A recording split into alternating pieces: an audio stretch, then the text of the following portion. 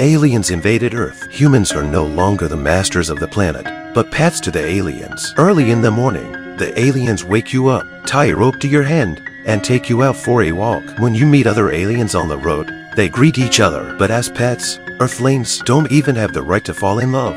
Even if they like each other, while the alien is getting a haircut, you see a beautiful woman walking by outside, but you can't go out because your owner is holding the rope. This scene feels oddly familiar. In the evening, when the alien goes to a party, the security guard stops you at the door because now in high-end hotels, human pets are not allowed in. You're put in the pet parking spot where lots of human pets are kept. Your crush is right next to you, but you can't touch each other. Humans have lost their freedom completely.